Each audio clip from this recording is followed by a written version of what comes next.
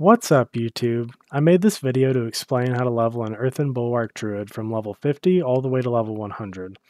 I'll be discussing how to progress through Paragon boards and how stat and skill priority changes based on gear and level. I'll be covering concepts that are specific to leveling, but I recommend you watch my previous Injured Bulwark build guide for a more in-depth analysis of the build and how it works in general. I'll be linking this video down below the like button so you can check it out after you watch this video. The one requirement for this build is that you found a high rolled symbiotic aspect to put on your amulet. This is very important and I recommend you try and find a 7 to 8 second aspect for your amulet before switching to this build. I've listed the legendary aspects that you should be keeping an eye out for in order of importance. The symbiotic and rapid aspects are both very important and you want to get a max roll on these if possible. The numerical value on your aspect of Mending Stone doesn't really matter, you just want the bulwark to last for an extra 6 seconds. Disobedience and might become increasingly important as you try and push difficult content. If you find a max roll on one of these, I would save them for a really nice piece of endgame gear. Ghostwalker just feels great for quality of life. Since we're almost always unstoppable, Ghostwalker is just permanent move speed and phasing. Phasing means you can run through the monsters without your character being blocked by them, and this is great for both mobility and survivability. Natural Balance and Crash Stone just give extra damage, and while they're nice to have, they're not required for the build to function. There are many other options for these slots, such as Edgemaster's or Conceited, so feel free to mix and match based on what you find. Next I'm going to discuss stat priority. This build does fairly low damage single target against low level monsters, so if you really want to blast, it's best to fight big groups of high level monsters. If you're geared properly, your damage against monsters 10 levels higher than you should be fine, however your damage will be great if you can fight monsters 20 to 30 levels higher than you. This logic is counterintuitive to almost classes level. Typically, it's optimal to do nightmare dungeons with enemies exactly 10 levels higher than you to maximize the experience per hour, because this is where the bonus caps at. However, if you're fighting higher level monsters, their health continues to increase while the percent bonus does not, so it's less optimal. However, with this build, our damage actually scales faster than the enemy health, so if we fight higher level monsters, we can clear dungeons faster and level more efficiently.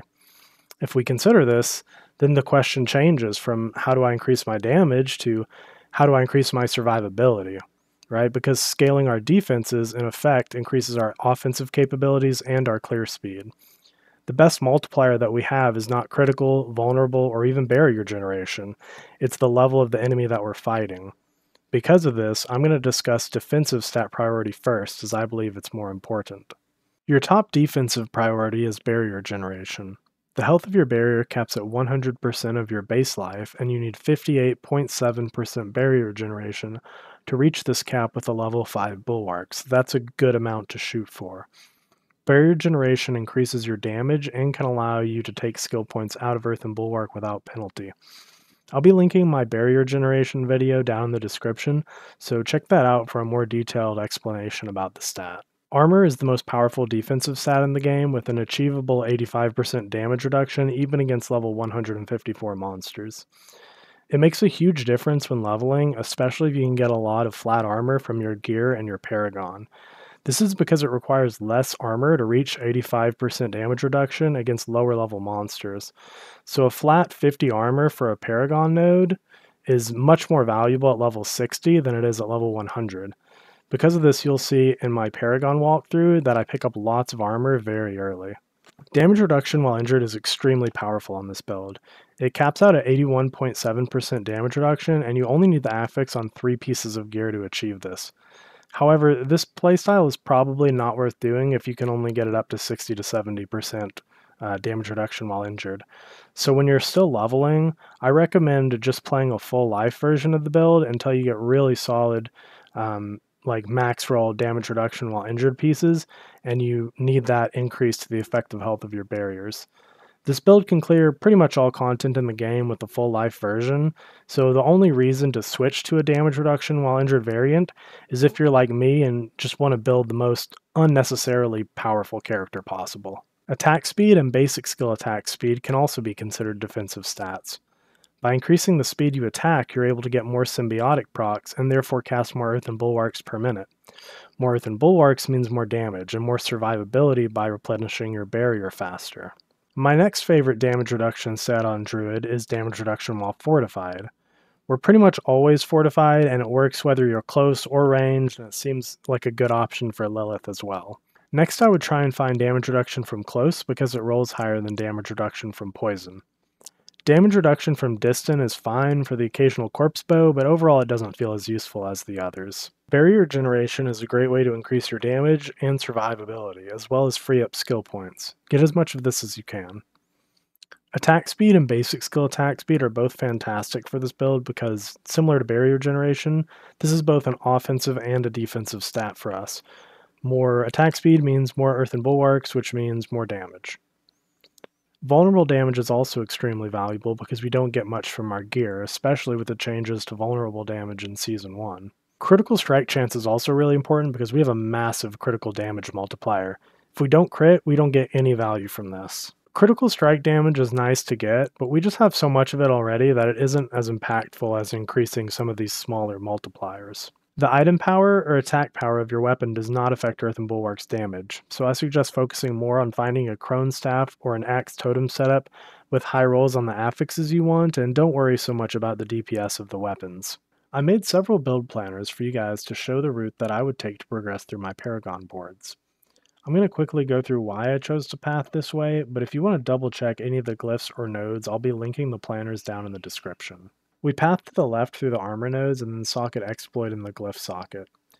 I don't really care about the vulnerable proc, since we have near 100% uptime on vulnerable anyways thanks to Storm Strike. Then we path up and socket protector here, and this is primarily to boost the armor that we get from the determination node. And then we path through here to Tenacity for even more armor. We're going to path to the left, picking up this attack speed as we go, and then socket Earth and Sky down here. This is mainly to increase the damage reduction from poison nodes, but it also increases these damage to poison nodes as well. Next we're going to make our way down to Fang and Claw and pick up the 40 willpower required to activate the glyph bonus. Finally, we're going to path to the right here for even more armor. Now that we've solidified our defense, we're going to take these two legendary nodes, Earthen Devastation and Heightened Malice. This is where the build should really start to do big damage. After this, we're going to path to the left for Undaunted and activate the glyph bonus for more damage reduction. We go down and pick up all this attack speed here, and then come down to this board and path to the left and activate the glyph bonus for Territorial for, again, more damage reduction. Then we're going to come down here and pick up this Deluge cluster for more critical damage. Finally, I go back and pick up Crushing Earth, and then up here to Havoc for more critical strike damage. Starting out, I would just level your glyphs to 15 in this order, which is the order in which they're socketed in the Paragon boards. I would level Exploit first because Vulnerable is a huge multiplier and we don't get a whole lot of it from our gear.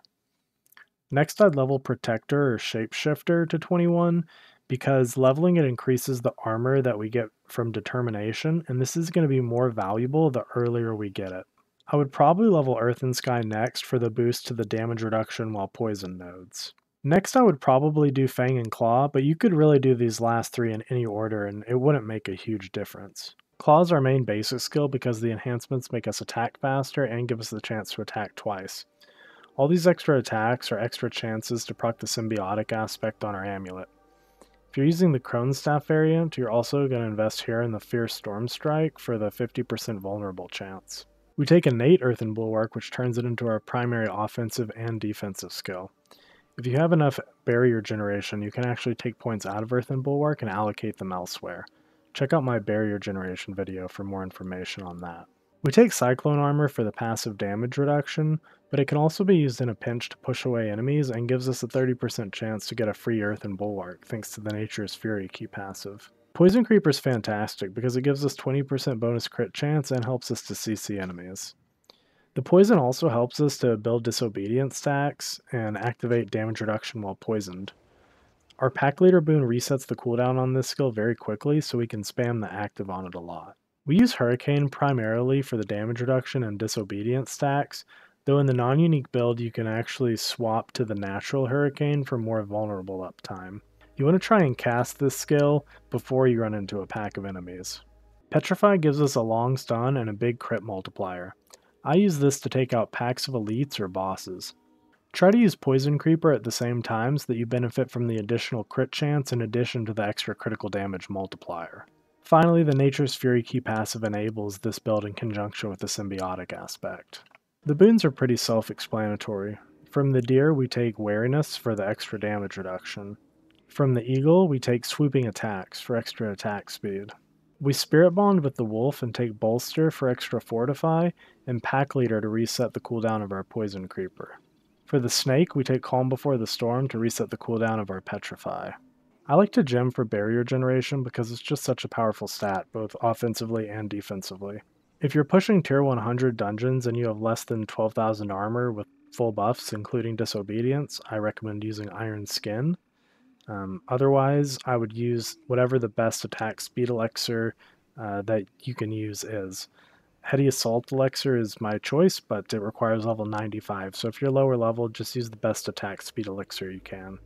For Wrathful Hearts, the Barber is your top priority. This is a massive boost to your AoE DPS and your clear speed. Revenge gives you up to 20% damage reduction, which is fantastic for this build. Finally, we use Tempting Fate because we have a really high critical strike chance and the Barber's explosions always crit anyways.